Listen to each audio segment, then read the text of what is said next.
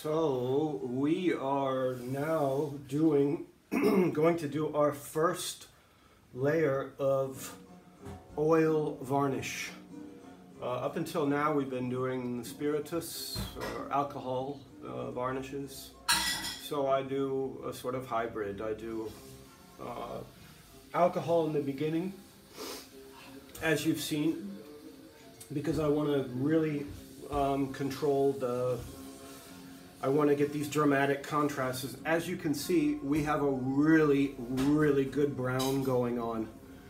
Um, so, um, I've, I don't know what time it is, but I've sat here for probably about half an hour just staring at it and trying to decide whether I should do a more of the dirty yellow and sort of get it because it's brown, it's a really nice brown and then you can see the, the yellow layers underneath. Um, what I've decided to do is just roll with the oil because um, if I do too much yellow and then I'm adding red, you get the orange demon. So um, I'll start by controlling my hair. Um, I, I grow my hair long on purpose at the top so I can put a pencil in it. Um, and it's a cool trick because then you just always have a pencil. Like, uh, I'm a pencil person. I hate digital things. Um, I don't hate computers because I, but I hate, um, I print everything. I write everything down. Um, the reason for this also is hair is your enemy, right? At this phase, if you have a hair, it's over. So I'm looking for my hair net. The best thing to do would be to wear a hair net. But I just, yeah, there's my hair net. Alright. Okay, so what I have going on now is these are the best varnishes that you can get in the world and you can only get them from Jose.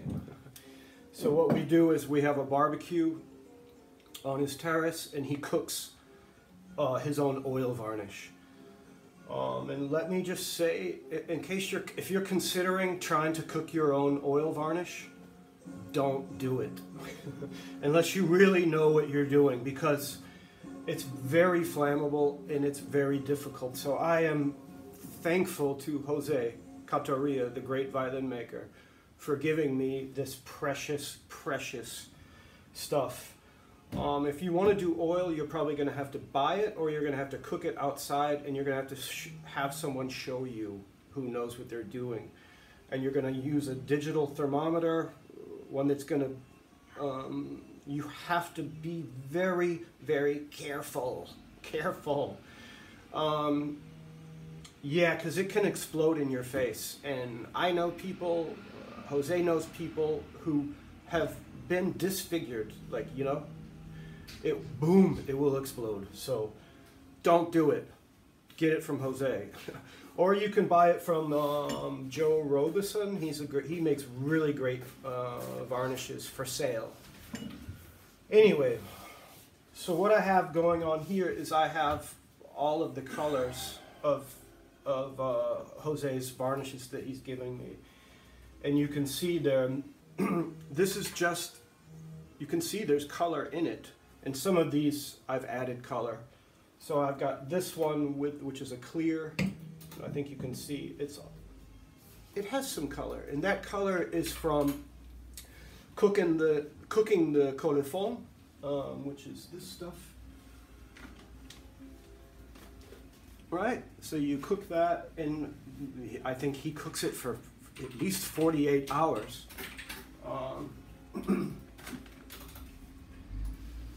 But because I want, we're moving towards a red brown. We have a good brown, we have a dirty yellow, and I'm not prepared. All right, so I need to fill my lavender oil, or I can just take it from here actually. So i am looking at all of the, the varnish, all of the oil varnishes that I have from my brother and I'm gonna go with this one with it has the most color already on it Um, and it smells so good. It's the most divine smelling thing. But I can see it's really thick, which in this case is good because we want to add color. So I'm going to take some lavender oil from Hammerl, which usually I put in here for more control, but you can do it this way.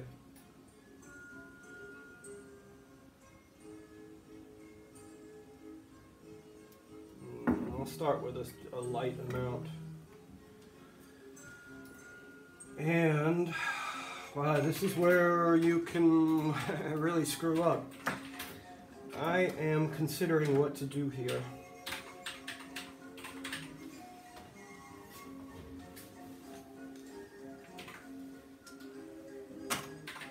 We know that we want brown, we know that we want oxide brown, so let's just start with that.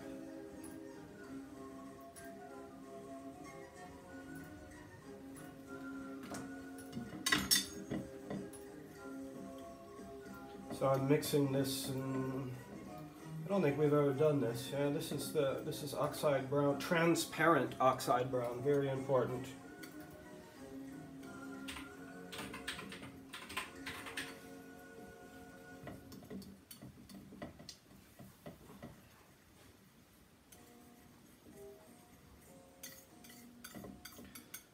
Um,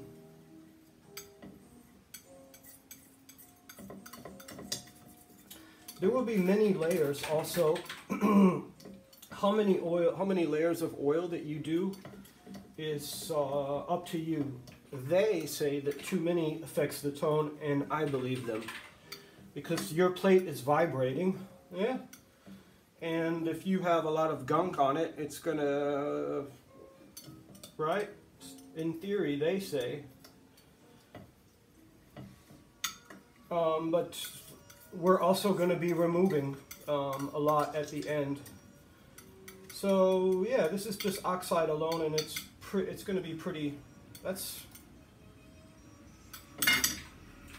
it's pretty orangey. You can see. Well, take my word for it. So I'm going to add bitumen, same thing. I'm, I'm just, all the, while I'm doing this, I'm thinking, should I add a little bit of yellow?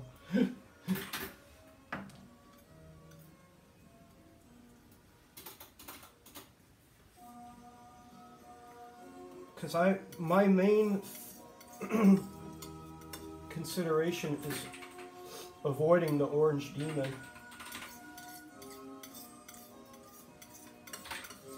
Ah, but another thing I was thinking of is really the best way to do this, if, if you're just starting out, is to make a, a notebook of everything that you've done with all the proportions. Um, but this, I'm doing a sort of freewheeling rock and roll style. Um, well, because I've done this hundreds of times, and um, I'm never doing the same varnish twice. I prefer it that way. Um, take a look at that. Right. So now you take your duck and you put some of this, this is super thick actually.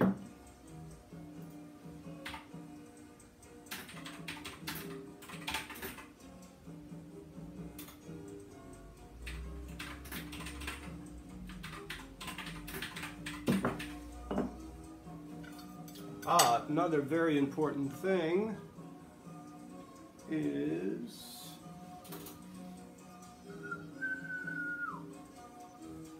looking for my siccative.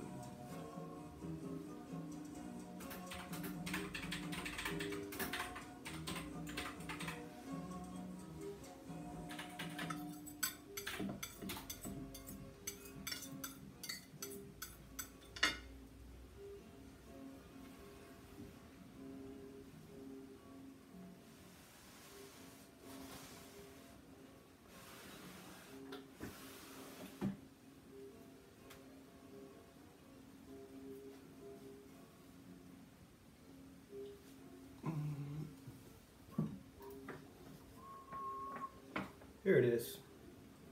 This is a cobalt dryer.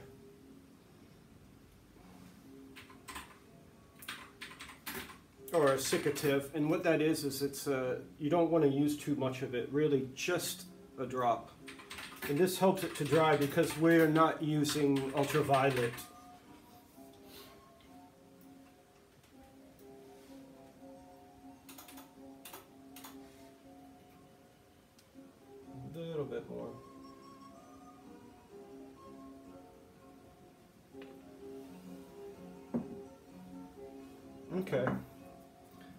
yeah, to explain, um, actually, my brother Jose actually gave me UV lights as well, but I, I stopped using them because um, I'm a little worried about the um, the health of it, you know, and also it, it tends to heat up the instrument. It makes it warm, so this this this kind of bothers me. So, all right, so I have this golden nectar of the gods, and I'm going to add my color color to it, my lavender oil.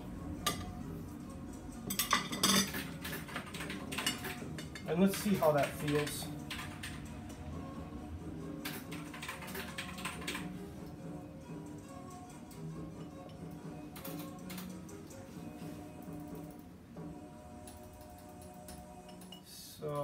Vis viscosity is something you're gonna have to do by feel. Um, no, this is too thin now.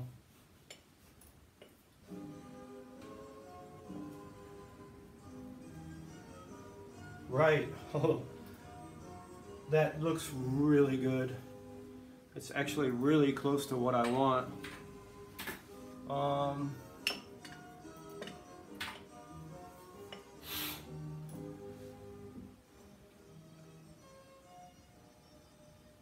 Actually, you could just use this straight on, this varnish, but it's a little um, orange. There's, it's a little, this has pigment in it already.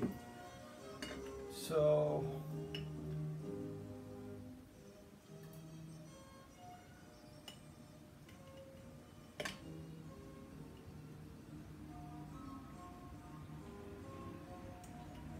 right, this, that's more of the consistency that I want.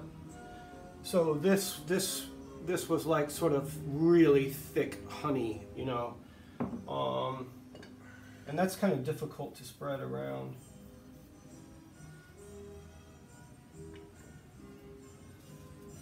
So what I'm going to do is take a scrap piece of wood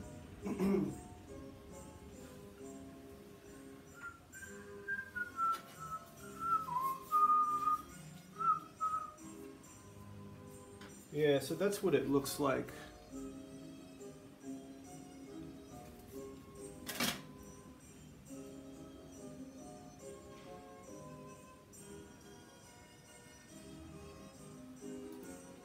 Yeah, I'm thinking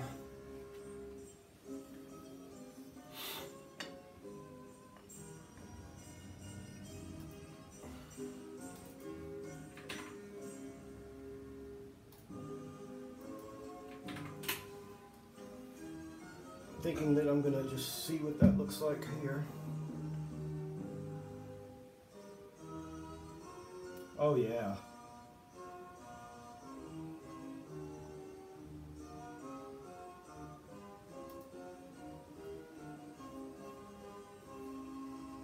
Oh, that. so that looks nice.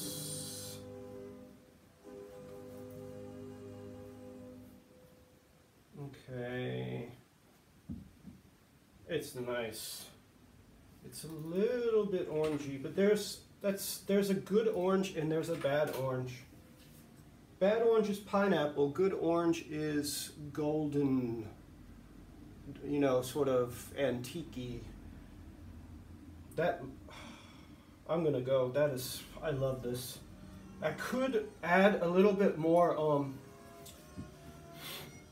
pigment to make it darker, but because the, the instrument is already so brown, I'm happy with this. I'm gonna go. So with oil, you, you have a lot of time to spread it around. Not too much time, um, but you have enough time. Um, and a good thing to remember is do your edges like this at the end of the brush cycle. Yeah. I'm leaving my bottom, yeah, because I'm going to be working that. Oh, that is nice. Oh, thank you, Jose. Whoa.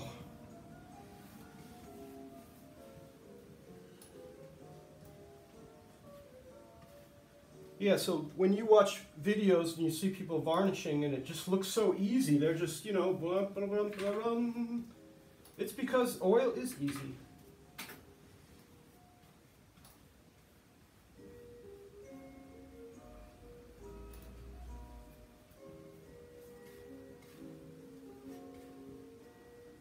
And the only the only trouble you can get into is hair or um or puddles. You know, and what you can do is um sort of cross yeah, even it out.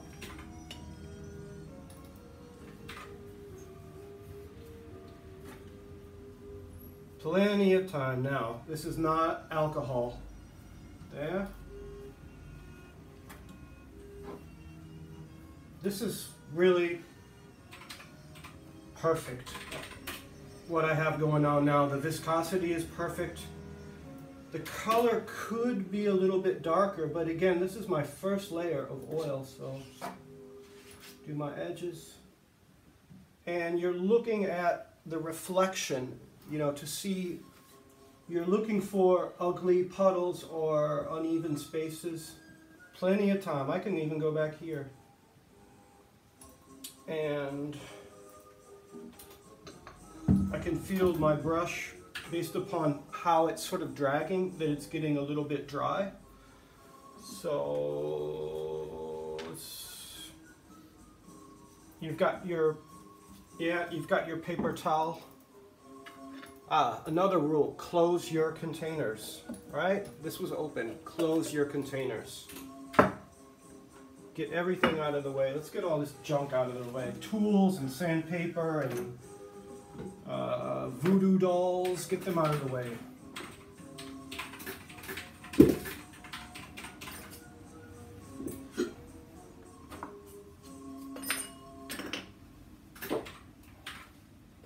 Yeah, you know what? Let's get my color out of the way too. We don't need this, right? Get it out of the way. Anything you're not using, Vic.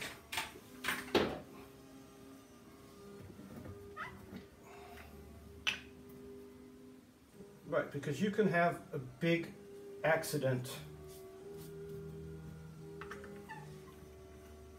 This is gonna look so amazing. Wow! Now I could still be faced with the orange demon, yeah?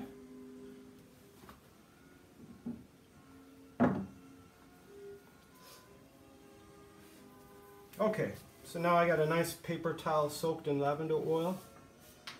I got my duck. Now you don't need, really need to see this area.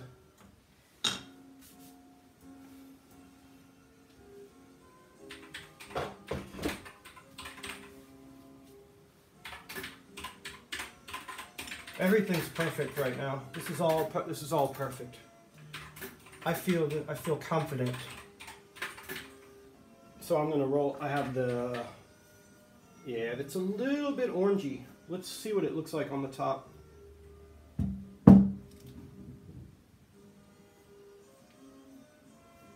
It's a little orangey, but that's a good, that is a good orange.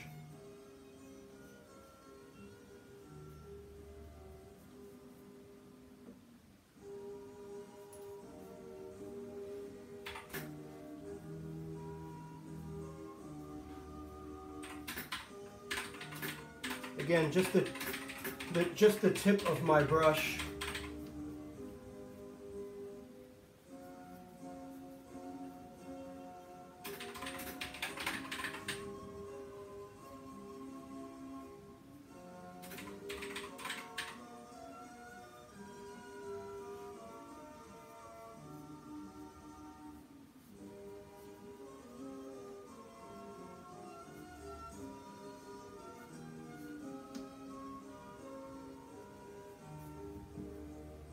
Is a good orange.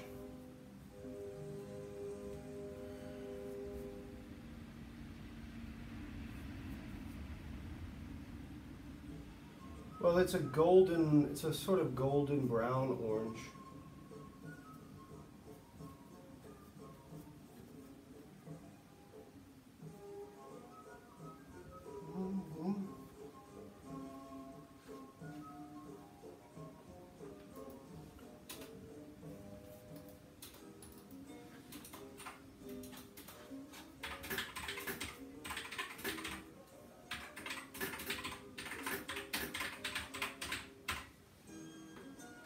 Uh, when you're doing your sound holes, you want to use less because you get that sort of when you scrape across the surface, you know, it can make a puddle.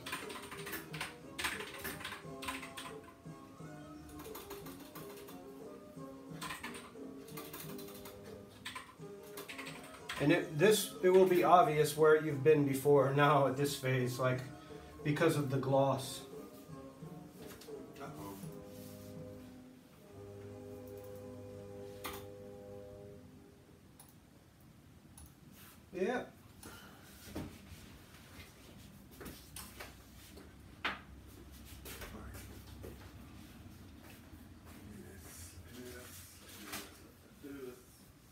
Need coffee. Can you set up an intravenous coffee thing for me, Bronco? Sure. Just uh, um, just fill the fill the thingy uh, level. No, I have coffee. I just can't touch it right now, and I just felt a sort of like withdrawal symptom. But you want me to make one, right? No, I have plenty of coffee. I Oh, I need it thought you were- intravenously.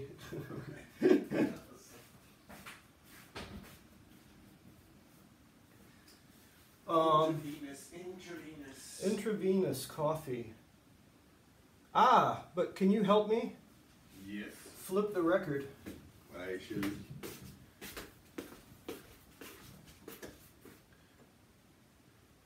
I keep hearing with this music like lyrics made with the f- with the four forbidden words constantly. Ah. I can't say. I won't say it. But Oh man, this this record is amazing. Um, it's um, well, it's Praetorius.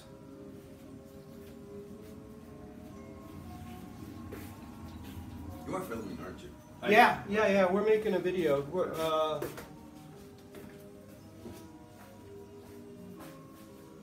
sorry, I, I'm, tr- I'm just concentrating. This record is so great. Um, we're going to talk more about it, I think. Um, it's actually a kind of sacred um, record.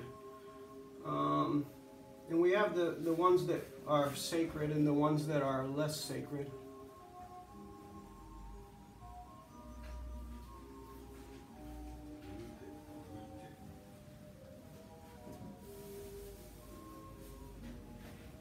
Yeah, again, I'm looking. I'm looking at it this way to see the uh, if any areas have been um, built up.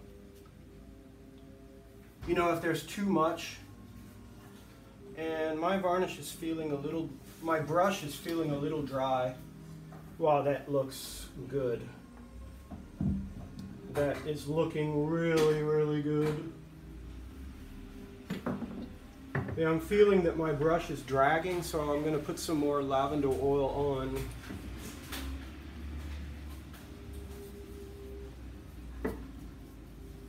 Yeah. Oh, another thing is the temperature of the room is important. You you really cannot varnish in winter unless you unless you're going to be heating, very, you know, because the viscosity of the oil is also affected by temperature, of course, just like a car engine. That's why when you're, um, I used to have a motorcycle.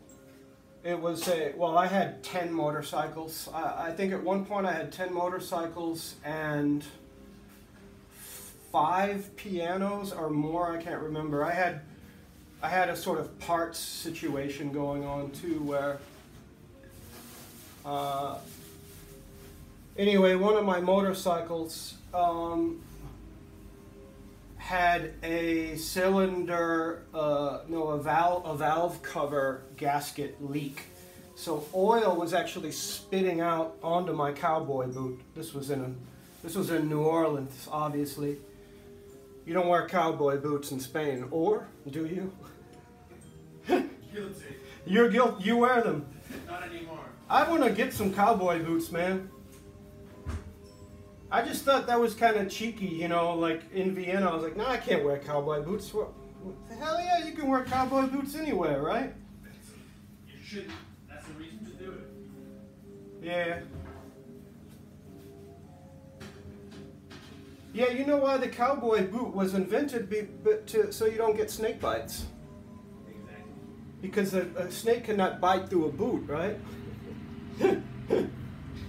anyway, so um, I'm a really good motorcycle mechanic, if I may say so myself. As long as it's a motorcycle engine that I understand. Ah, see, I just put too much. Uh, You probably can't see it.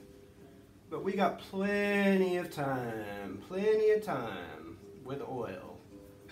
We can just enjoy the rich, beautiful smell of the golden nectar. It smells so good. Oof. So anyway, the oil is leaking onto my cowboy boots. So I just said I'm gonna I'm gonna put uh, straight um, what's it called uh, STP oil treatment. STP. It comes in a comes in a blue plastic jar and it's just thick like honey. It's actually a little bit thicker than this varnish. And what it does is it protects your engine when it gets really hot, and it gets hot. It gets hot as, uh, uh, it's really, really hot in New Orleans in the in the summer. I mean, you take a shower, and five minutes later, you're drenched in sweat. So I decide I'm just going to put straight STP oil treatment in my motorcycle and just roll with it, roll, roll with that, you know, just pure thick honey because you want your engine to, you don't want it, the, thin, the, the thinner uh, your oil is, the less protected your engine parts are, right? So the same thing goes with oil varnish. The colder it is, the thicker your varnish is going to be. So really, you should in the winter you should go and, and take all your jars and kind of police them. Um, maybe add a touch of lavender oil and make sure that they're um, they're not drying up. You know, I don't know. So again, I feel that my brush is. Let me just think about this. I see some areas that are uneven color. Yeah, sort of blend together. I mean, you don't have infinite time because it is actually drying now very slowly. What's going on here? Yeah, an apprentice an apprentice should be putting lavender on on my uh,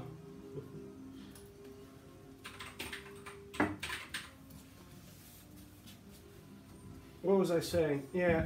So you need to heat your uh, workshop. Gesundheit. You need to heat your workshop in the winter. If you're gonna varnish. Better yet, just don't varnish in the winter. That's a better idea.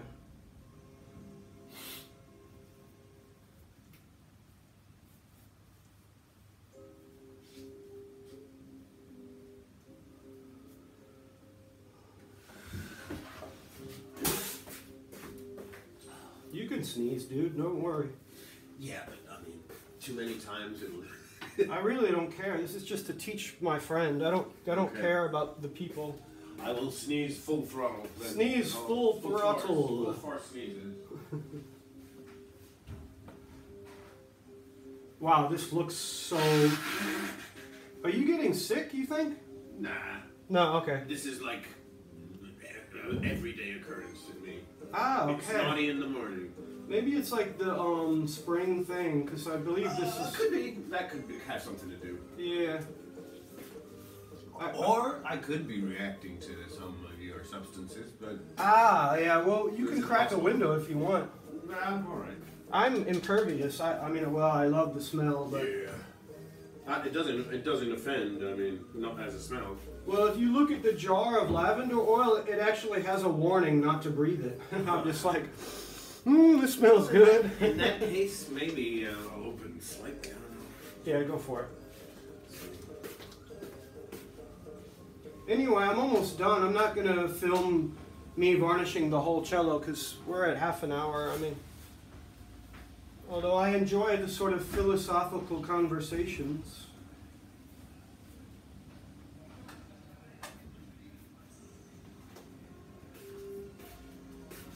Plenty of time.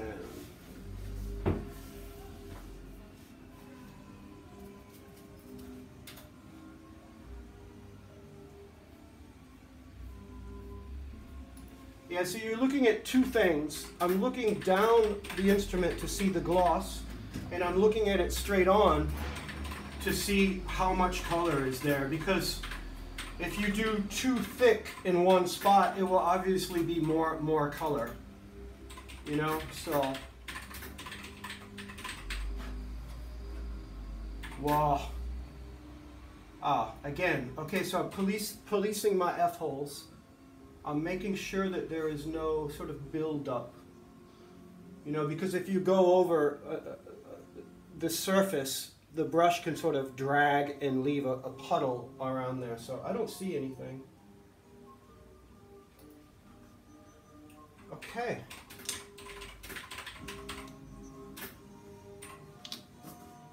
Yeah. That, I'm really I am really, really happy with that. And that's only the first layer.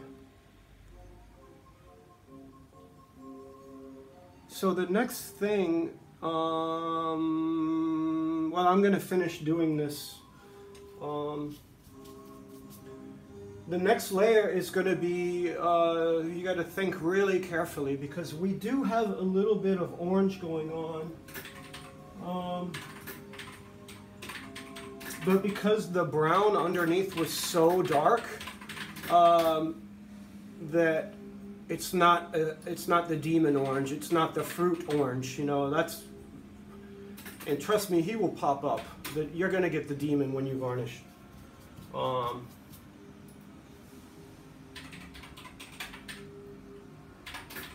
yeah so we're getting to, I, i'm not even sure if if I can get to where I want to go, I want this sort of red, red, red brown.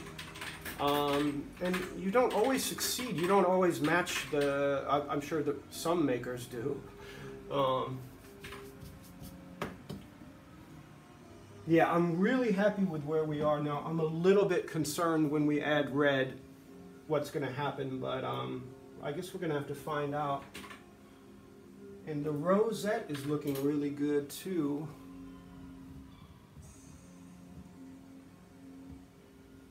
Okay, I guess that's it for now. Um, we will continue with in three around three days. Like I say, I don't. You can use UV lights, but um, uh, I stopped using them uh, because I'm worried about my health. I'm worried about my health. Um, now I'm more worried about the the heat inside because you have to have. If you're using UV lights, this is another thing for people who are watching this, if anyone's watching, is you cannot, you don't want to look at ultraviolet light. It's not good for you. Yeah, that's another thing. So, um, yeah, don't do that. Don't cook your varnish, and that's how we'll end this video. Don't cook your own varnish unless you know what the hell you're doing. Um, and um, if you're using UV lights, you need to build a chamber that is light proof and you turn it off and on from the in, from the outside. So safety is safety first, right? All right, see you in three days.